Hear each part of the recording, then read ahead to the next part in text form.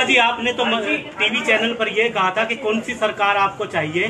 चालीस रूपए पेट्रोल वाली सरकार तीन सौ रूपए सिलेंडर वाली सरकार। बाबा जी अच्छे भी कहा कुछ आप ही ने कहा था सरकार बनाई बनी थी। हो ही आपने कहा था कि नहीं कहा था बाबा जी? मैंने कहा था हाँ। बाबा जी आपकी कंपनी पतंजलि बाबा जी आपकी कंपनी पतंजलि ऐसे जाता ना आदमी को ना आप ही ने कहा था। अरे आदमी को मैं कह रहा भाई ऐसे प्रश्न मत पूछो। बाबा जी- मैं तेरे प्रश्नों का उत्तर देने के लिए कोई ठेकेदार ठेकेदार है कि तू जो भी पूछा मैं उसका उत्तर दूँ। शांत। जब एक बात कह दी थोड़ा सभ्य बनना भी सीखो। आप ये बताओ। एक मिनट सभी टीवी चैनल पर आप ही की बाइट चली थी और लोगों अरे ने भाई मैंने दी थी और अब नहीं देता कर ले क्या करेगा? चुप हो जा अब आगे से पूछेगा तो ठीक नहीं। स्वामी जी बाबा जी बोल दिया ना स्वामी जी। बाबा जी।